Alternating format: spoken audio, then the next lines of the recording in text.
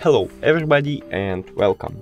In this video I will show you how to set device type for the headphones Skullcandy Rail with using your iOS device. You have to start by open settings, then go to Bluetooth, now click the information icon near to your headphones, then click device type and choose headphone, now go back. And we just did it. Thank you for watching this video. If you found it helpful, please consider subscribing to channel and leave the like on the video. It's really important to us. See you later!